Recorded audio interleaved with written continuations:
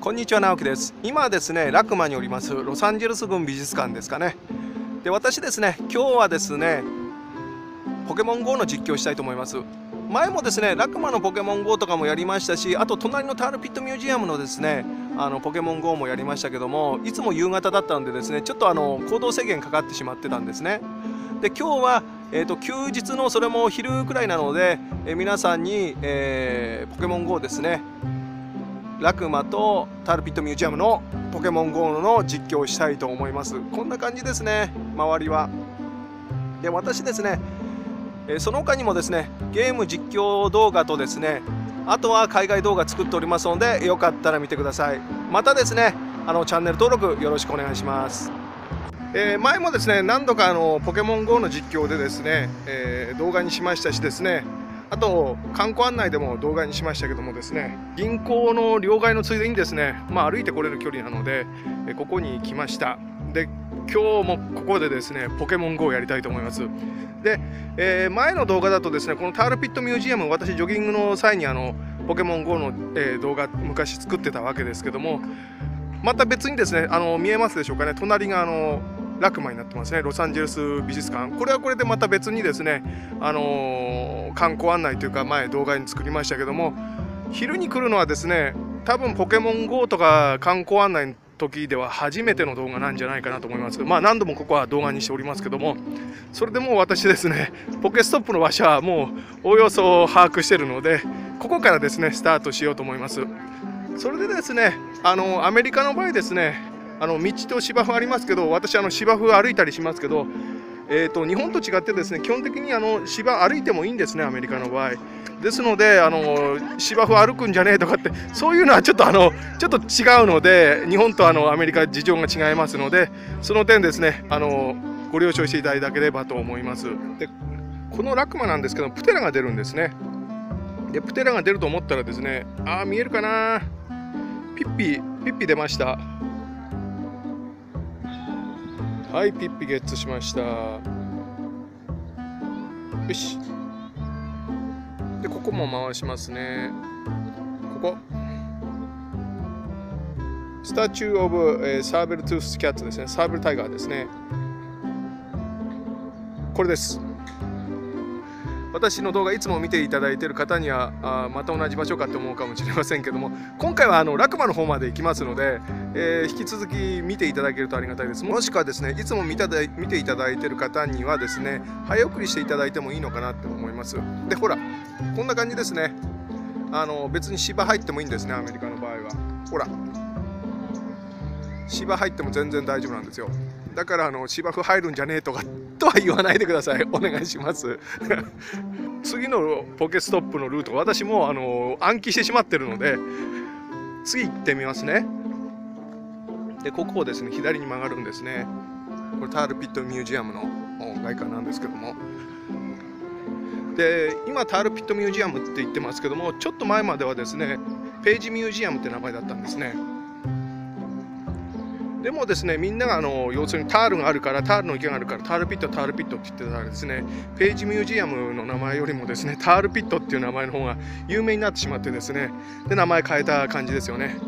で見えますかねこれ。え、ー、と何て書いてあるんでしょうか。フィリーヒーツトリックワイドネスバスリリーフ。うん、なんだかよくわからないですけどとりあえず回しますね。はい回しました。風景はこんな感じです。あまたピッピがいる。どうもですね iPhone が壊れる前ですねプテラは出てたんですけどピッピは出てこなかったんですね。今のポケストップにですねピッピが2匹ですねおりました。はい。それでピッピもゲッツと。遊んでますね。ゴロゴロ転がって。まあアメリカらしい光景ですね。この駐車場のところにもですねポケストップが1つあるんですね。ちょっと逆光で分かりにくいですけどもあれがあのタールピットミュージアムですね。ちょうどですねモニュメントここですね。アメリカの国旗がありますけども。ここ。これで、えー、ビリンゲームメモリアルって書いてますね。ちょっと見えるかな。どうもねあのこっちの私が映してる携帯の映像は良くないんですね。でここで、えーまたポケストップ寄りましてもう体が覚えてしまってるんですね。多分半年ぶりくらいの iPhone で、えー、ポケモン GO やってるんですけどもずっと私ポケモン GO やり続けてましたからね iPhone 壊れる前は。だからもうどこにあのポケストップあるかはですねサンタモニカとですねあとラクマとかはですねもうあの全て体が覚えてます。さあここにもポケストップあるんですね。見えるかな？こっち。背背にすればいいかな。ちょっとそれでも見えないね。だからここでもちょろちょろちょろっとやって。で一見ですねこの公園をさらにまっすぐ戻るかなと思わせておいてここを右ですね。今サッカーしてますね芝生で。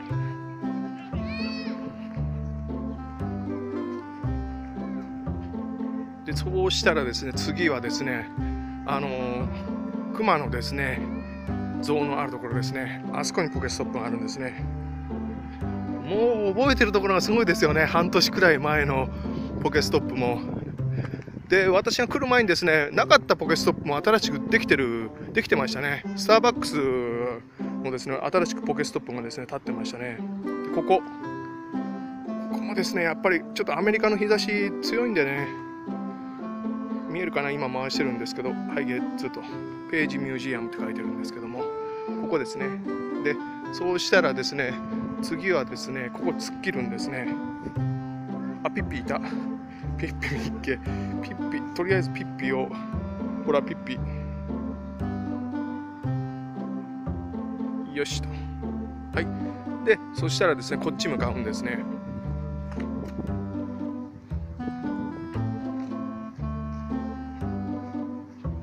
これあの見ていただけますでしょうか？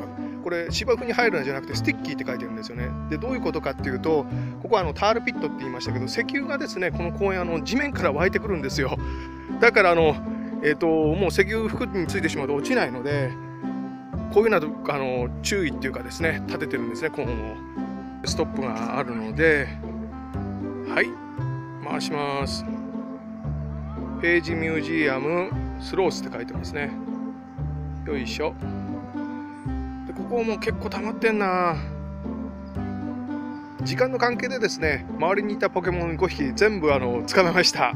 あとですね先ほどあのコーンであの石油が出てきてるってお話をしたじゃないですか。であまりにも石油の出る量が多いとですねこういうふうに柵ですね作らざるを得ないんですね。でこちらもですねあの下からですね石油が出てきてるからですね大きな囲いを作らざるを得ないんですね。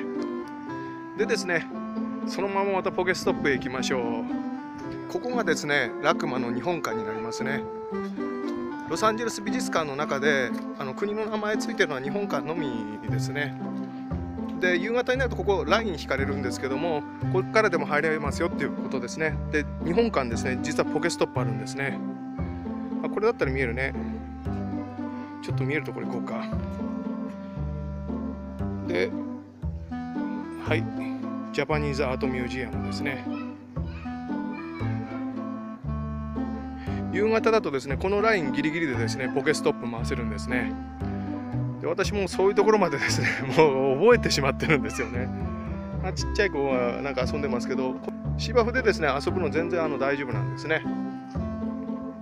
でまた違うポケストップ行きますね。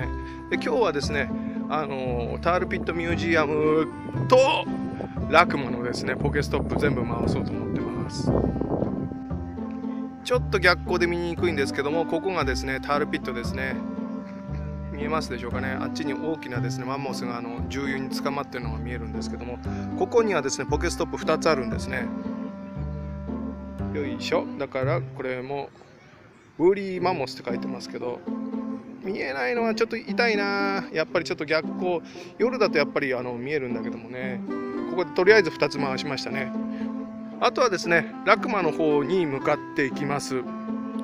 で私はラクマのですね会員ですのであのまた別の動画でですねラクマの動画アップロードしておりますので、えー、よかったら見てください。今度はですねラクマに入ってきます。以前のですねあのポケモン GO ですね夕方にいつも撮ってましたけども今日は休日なので、えーと、とラクマの方も空いてるんですね。でここはあのカフェになってますのでここを通り抜けます。ここがラクマですね。それで以前ですねラクマの動画でですねお話ししましたけどもですねあのランドマークのあるですねよくあのロサンゼルスのあの案内とかにも出てるですねあの電球の集まりですね伝統の集まり。でそこにも、えー、券売機があるんであの券売機っていうかですねチケットセンターあるんですがものすごく列作ってます。だからもうちょっとですね東側に進んだところあの空いてます。ですのでラクマに来られた際はですねこちらでですね券買った方があっという間に入れます。でランドマークのあるあの伝統のところあそこだとですねかなり待ちますので皆さんそこら辺あまり知らないので、えー、ラクマに来た際にはですねあのちょっとポケモン GO から外れますけどもここで買ってください。まあ後でですねあのその入り口の方は後ほどあのご説明させていただきます。はいポケモン GO ですね。ここにもポケストップありましてですねビッグ、えー、ビッグシアターファウンテン。えい。でこれこれのことですね。1セント効果ですね。1セント効果落ちてますけども誰も拾わないですよね。でここら辺安全でですね、まあ、民度も結構高い人たちが住んでいる場所ですので、えー、安全なわけですね夜も。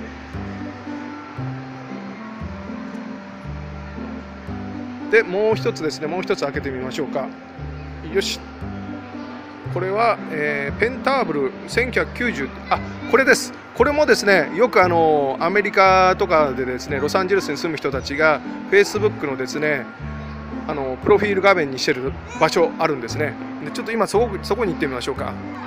以前私ですねラクマの紹介した時ここを突っ込んでみましたけども今子供たち遊んでますよね、ええ、なのでちょっと、あの、真ん中通るのはですねあれなのでこの申し訳なさそうに端っこちょっと通ってみますね。まあ、こんなこんな感じなんですね。よいしょ抜けられた。こんな感じになっております。空いてるチケットセンターの行き方なんですがハンドマークのある、えー、伝統の方それをですね、えー、突っ切っていただいて東の方に進んでいただきます。まあ、つまりあタールピットミュージアムの方面ですね。そうするとこういうところに出ますのでここを左折していただきます。そうすると先ほどのあの噴水ありますよね。で噴水があるっていうことはほらここの正面。そのまままっすぐ進むと先ほどのチケットセンターに行くんですね。ではラクマの中ですね。突っ切ります。こんな感じでオブジェあるんですね。で私あの別に今見る必要はないので中通るだけです。館内突っ切りました。でこれがあれですね。よくあの観光雑誌とかに出てるラクマのですね、えー、ランドマークですね。伝統ですね。で今日ですねチケットセンターあの私がいつも混んでるって言ったチケットセンターもかなり空いてるようですね。で突っ切ったところにですね実はここにもポケストップがですね2つあるんですね。もう私本当にあの体を覚えてしまってんですよね。ほらあった。エルスクリプチャーって書いてますね。でここら辺ちょっとポケモンも出てますけども。そのままですね突っ切りますとですねまたあの別館みたいなのがあるんですね。まあ別館だらけなんですけども。でここでですね前あのフランク・オ・ゲリーのですね建築家のですね特別展あったんですけどもその動画ですねまたいつかですね興味のある方おりましたらですねあの動画でアップロードしようと思ってます。でここはい。ロサンゼルスカウンティミュージアム・オブ・アートラクマですね。はい回しました。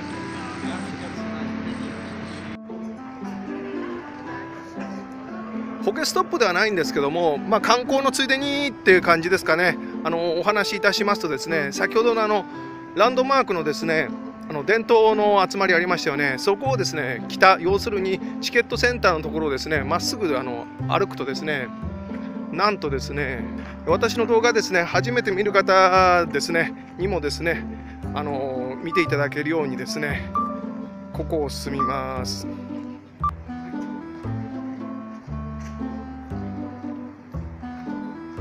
なり大きなですね巨石なんですね。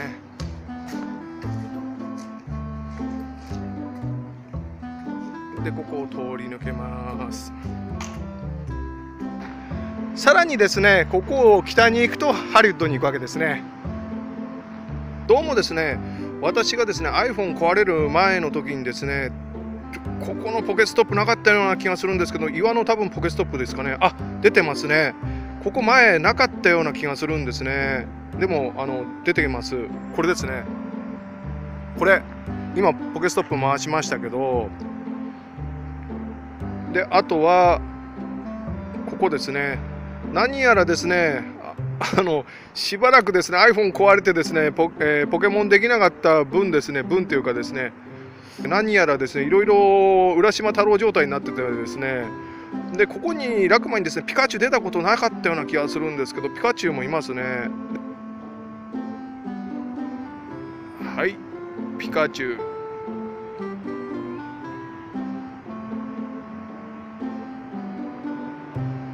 結構捕まるか捕まらないかの時ドキドキするんだよな。無言になっちゃうんだよな。ピカチュウ。よし。巨石の周りのですねポケモンは全部捕まえました。と。ほら。やはりですね混んできてますね。なのでですねさっきお話ししたですねあのチケットセンターの方で買った方が無難です。先ほど来た道ではないですけどもですね適当なところをですね抜ければですね北側に抜ければですねまあいつでもですねタールピットミュージアムに戻れるんですね。私が先ほどですね一生懸命あのポケストップ回してたところですよね。まあ今も一生懸命ポケストップ回してるんですけど。今までですねタールピットミュージアムのですねあの紹介の時に説明はしておりませんでしたけども実は重油の下にですね結構なあの生物がですねはまって死んでおりましてそれが化石化してるんですね。でそれはあのこういうふうな形で発掘しております。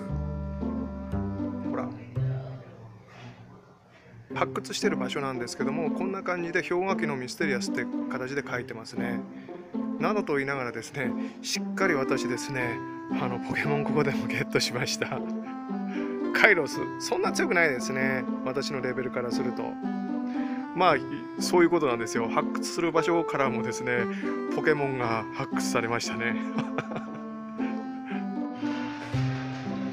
マダム・タッソーのですね、近くにこれがありますものすごい長い車発見しました。